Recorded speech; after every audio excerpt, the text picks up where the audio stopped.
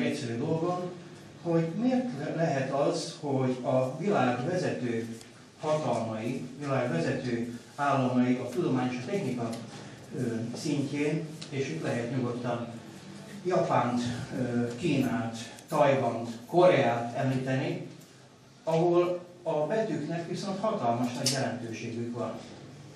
Mert éppen a betűvetés az sokkal több, mint egy kommunikációnak az átadása, hiszen